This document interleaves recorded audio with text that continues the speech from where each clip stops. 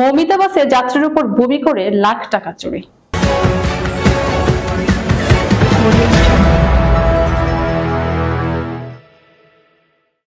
Dhaka Narayanganj link রোডে অভিনব কৌশলে আবারও এক যাত্রীর উপর বমি করে তার কাছ থেকে দেড় লাখ টাকা চুরির ঘটনা ঘটেছে। এবার সুমন রেজা নামে এক যাত্রীর দেড় লাখ টাকা চুরি করে নিয়ে গেছে বলে জানা যায়। সুমন রাজা ফতুল্লার সস্তাপুর এলাকার নূর হোসেনের ছেলে।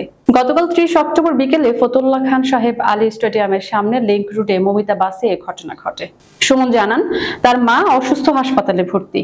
হাসপাতালের বিল পরিশোধ করতে আত্মীয়র কাছ থেকে এক লাখ চল্লিশ হাজার টাকা নিয়ে গত ত্রিশ অক্টোবর ঢাকা সায়েন্স ল্যাব থেকে মমিতা পরিবহনে নারায়ণগঞ্জ জেলখানা মোড় আসার পথে দুপুর আড়াইটার দিকে খান সাহেব উসমান আলী স্টেডিয়ামের মোড়ে পৌঁছালে পাশে বসা অজ্ঞাতনামা একজন তরুণ উপর বমি করে দেয়। তখন বাসের হেল্পার তাকে দাঁড়াতে বলেন, দাঁড়ানো মাত্রই তার বমি পরিষ্কারের কথা বলে কৌশলে প্যান্টের পকেট থেকে টাকা নিয়ে দ্রুত বাস থেকে নেমে যায়। বিষয়টি বাসের চালক ও হেলপারকে জানানোর পরও তারা বাসটি কিছু দূর থামিয়ে তাকে নামিয়ে দিয়ে দ্রুত চলে যায়। এই ঘটনায় রাতে ফতুল্লাহ মডেল থানায় অভিযোগ করেছেন ওই যুবক। এ বিষয়ে ফতুল্লাহ মডেল থানার ওসি মোহাম্মদ রেজাউল হক গণমাধ্যমকে জানান। অভিযোগ পেয়ে তাৎক্ষণিক পুলিশ পাঠানো হয়েছে, গাড়িটি শনাক্ত করা হয়েছে।